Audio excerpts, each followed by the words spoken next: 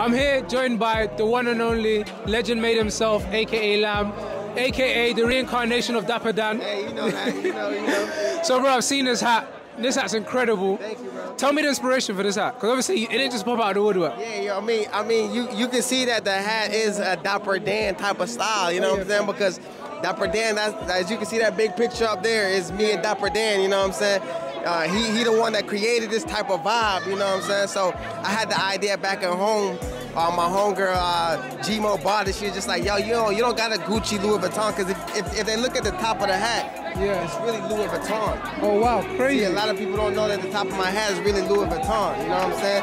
So I was like, I had the idea like putting the Gucci and Louis Vuitton together because most people don't mix the brand. You know what I'm saying? And as true creative, only those who risk going too far can figure out how far one can go. You feel me? Facts. Yeah. So, what made you want to get into fashion?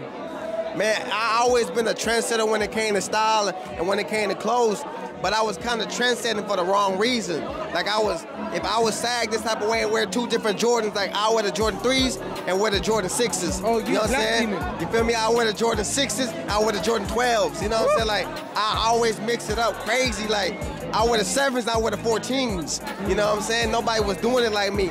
But I, I always inspire all the youth and everybody else to do it. But I was sagging and doing it in a kind of a gangster way.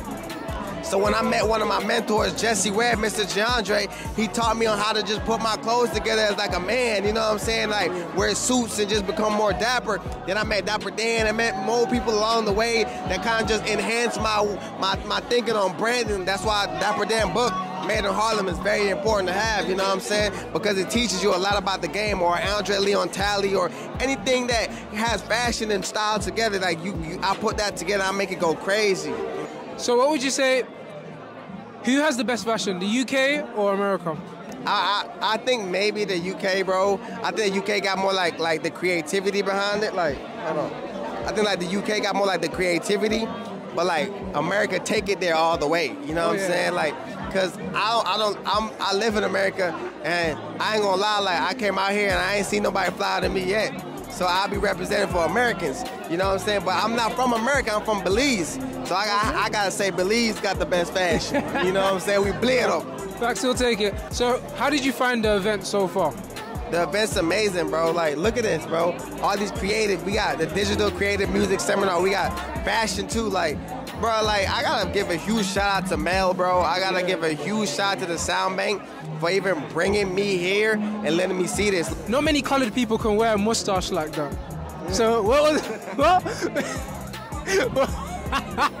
what made you want to twist up? Well, you know, my my last name is Sanchez, bro. Uh, My background is Spaniard, you know what I'm saying? My my ancestors African and Spaniards, you know what I'm saying? So my Spaniard mustache comes from that. I like it. It's cool. Not many people can rock it, but it was nice meeting you, man. And we out.